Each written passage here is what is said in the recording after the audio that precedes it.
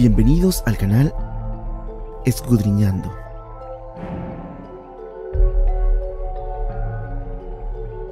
Segunda de Corintios 6, 14 y 15 dicen, No os unáis en yugo desigual con los incrédulos, porque ¿qué compañerismo tiene la justicia con la injusticia?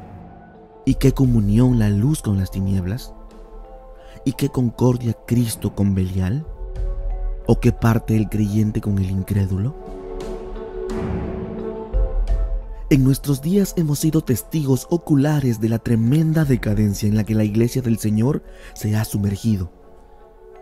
Durante muchos años, los que se hacen llamar evangélicos han juzgado a los católicos de idólatras por venerar o adorar imágenes. Y es cierto, son idólatras. Sin embargo, el evangélico está en peores condiciones, que pese siguiendo la verdad, se empecina en seguir la mentira pues idolatra todo lo que suene o hable bonito. Es así como la iglesia mal llamada protestante o evangélica tiene a predicadores, cantantes, conferencistas, showmans, etc., como ídolos de carne, que por más que son descubiertos en herejías y apostasías, los defienden de una manera férrea y en algunos casos hasta brutal.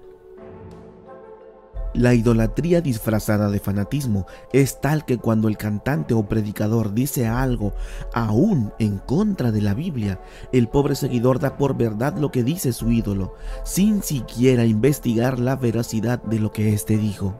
Es así como hay personas que defienden la conducta de Marcos Witt, que es un comportamiento que va en contra de las escrituras, pero lo disfrazan con brillar la luz de Jesús. Muchos dicen que él ha llegado a lugares donde nadie ha llegado.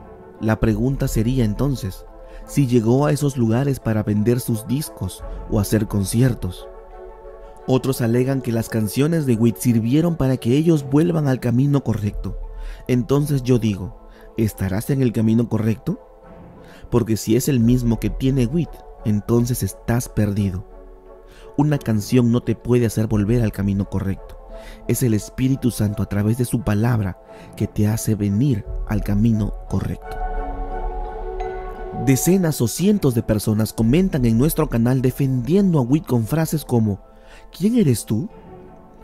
Y me tomé el trabajo de contar cuántas personas han comentado lo mismo, y el resultado fue 982 personas que solo en este mes me dijeron eso. Entonces, ¿Habrá alguna especie de lavado cerebral que todos dicen la misma frase? Otros comentan que le tenemos envidia porque él sí es exitoso o cosas por el estilo. Y yo digo, ¿envidia de irme al infierno? Envidia de tener seguidores, envidia de tener equipos, envidia de ser famoso, a costa de tergiversar la palabra de Dios? no, gracias.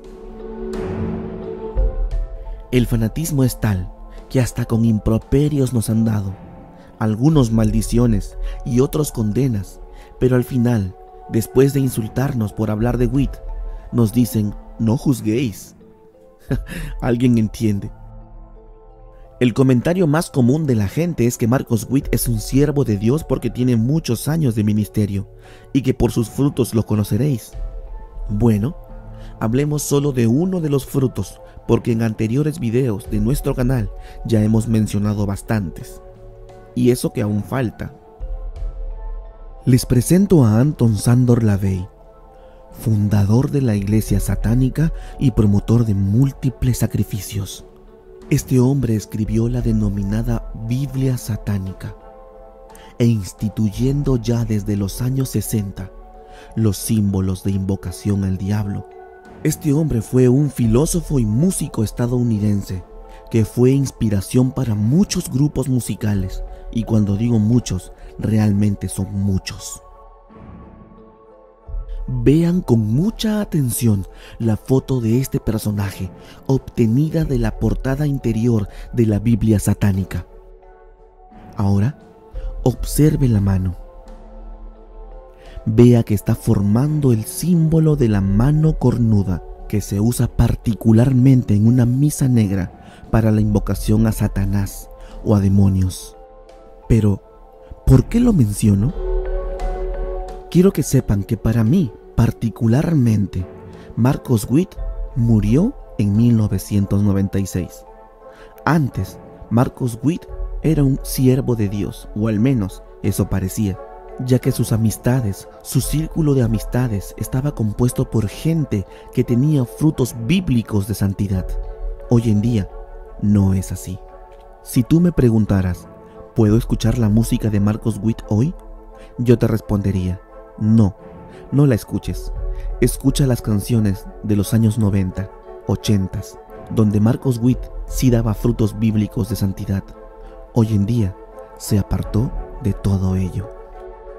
Es más, la gente que lo conoció de tú a tú, de muy cerca y de muchos años, se lamentan hoy en día del comportamiento y conducta que tiene el cantante, que está muy lejos de la visión original con la que inició. Lamentable. Mucho se ha dicho que Marcos Witt es un agente satánico, infiltrado del Vaticano, pues su conducta revela cada día que así es. Aquí en esta foto podemos ver a Marcos Witt formando esa misma señal de invocación con la mano, la mano cornuda. Hablemos de las legiones de Marcos Witt. Siempre tuve mis dudas con respecto a este hombre. Este es Emmanuel Espinosa, bajista y productor de la casa musical de Marcos Witt. A finales de los años 90 se rumoreaba que este muchacho entró a contaminar el bonito grupo de personas que formaban la banda de Marcos Witt. Incluso se decía que este joven era una persona soberbia y altanera. Mm, puede que sí, puede que no, pero lo que realmente importa son los frutos que se muestra. Fue el reemplazo del bajista original de Marcos Witt. Estamos hablando del fallecido hermano Luis Chi con el que se inició esta hermosa visión de llevar alabanza por todos lados. Lo extraño es que desde que entró Espinosa, todo en Marcos Witt cambió, pues inició la modernización de todo e inició el Marcos Witt más juvenil y rockero, con la visión de adaptarse al mundo para traer almas, en vez de adaptarse a Cristo para llevar arrepentimiento. Este músico fue el creador del proyecto llamado Grupo Rojo, que tuvo como principal vocalista a la señorita Annette Moreno. Sin embargo, vean a Emanuel Espinosa haciendo el mismo símbolo satánico y déjenme decirles que no es la primera vez que lo hace. No creo que exista alguna persona con mínimo de juicio que diga que esto no fue intencional, ni que ignora lo que esto significa, ya que este símbolo es un símbolo satánico conocido por décadas, sobre todo por los músicos, que han estudiado con métodos de rockeros, como es el caso de Manuel Espinosa. Forzosamente sabe qué significa.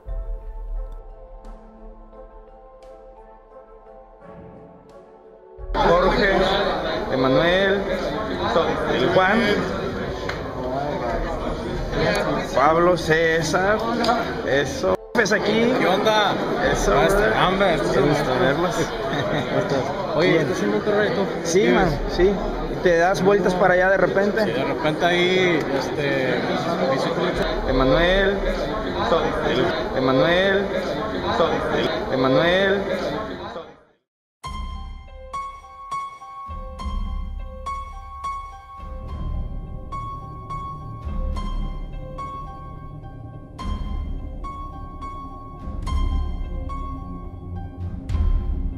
Y ya que hablamos de Emanuel Espinosa, quiero hablarles de su cuñada Annette Moreno, una de las salmistas de Marcos Witt.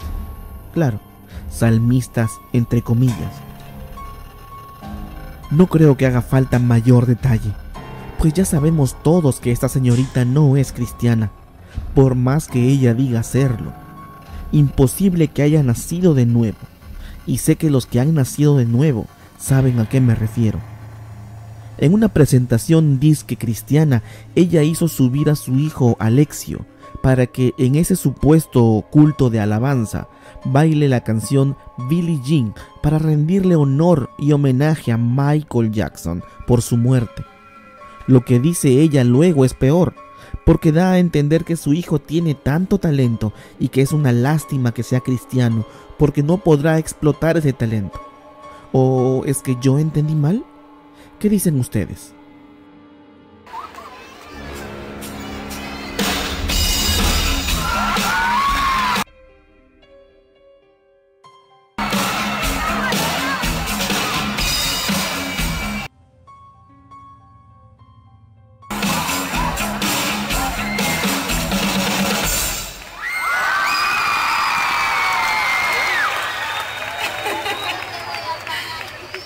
Me dijo, mamá, porque a él le encanta Michael Jackson. Y pues es una tristeza, ¿verdad? Tanto talento, pero bueno, solamente Dios sabe por qué pasan las cosas. Un talento que yo siempre he admirado.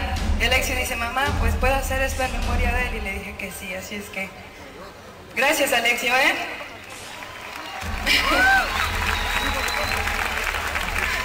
Es muy difícil ocultar el satanismo. Aflora en cualquiera de nuestros aspectos.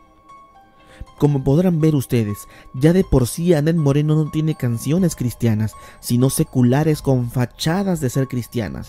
Pero sépase que casi en un 99% no menciona a Jesucristo, ni le alaba, ni nada. De hecho, si oyen su canción Sonrisa al revés, sabrán de lo que hablo. De forma personal he constatado su comportamiento y el de sus músicos y doy fe que no es cristiana para nada. Pero aún así, no es necesario el testimonio de nadie. Se puede ver en sus frutos, vestimenta, canciones, portadas, letras, conducta, etc. Como aquella canción que dice mentiras, donde le canta a Satanás directamente. Esta canción es una canción donde le conversa a Satanás y lo insulta. Y su público alabando a Satanás con Anet Moreno.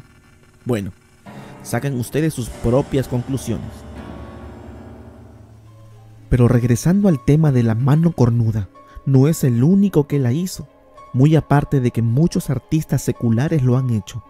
También esta cultura la tienen los hijos de los pastores como los de Dante Hebel aunque ya sabemos que este señor no es cristiano, igual que muchos que creen que sí son.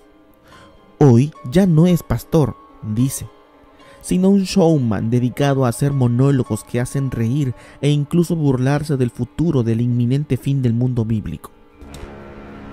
Actualmente, Dante Hebel es la combinación de un Adal Ramones y un Marcelo Tinelli. Como verán, este hombre jamás nació de nuevo.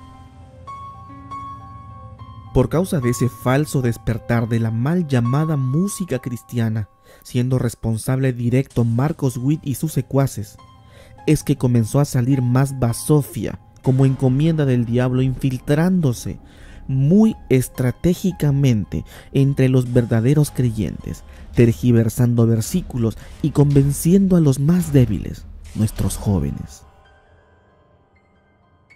Oigan lo que dice el líder y vocalista de un grupo disque cristiano llamado Strike 3. Cuando una persona no cristiana le hace ver lo correcto de un versículo sobre los tatuajes. Ah, mira, qué bueno. Porque tengo entendido que, que si, si sos cristiano eh, existe un versículo del cual se atajan en donde el cuerpo supuestamente es un templo y no podés llenarte ni los tatuajes, bueno, no salen más. Eso, pero lo- bueno, los aritos, por ejemplo. Es fácil. O los aritos, por ejemplo. Es fácil. O los aritos, por ejemplo. Es fácil de contestar esa, esa ¿Sí? respuesta. Esa pregunta, perdón. Cuando Dios dice que no se marquen y no, eso está hablando en el Antiguo Testamento. Pero aquí se corrige, aquí se corrige, aquí se corrige cuando Dios dice en su palabra que lo que ve el hombre, él no lo ve.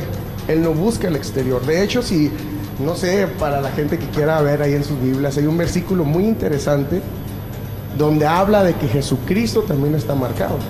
Él trae- digámoslo modernamente, trae su tatuaje.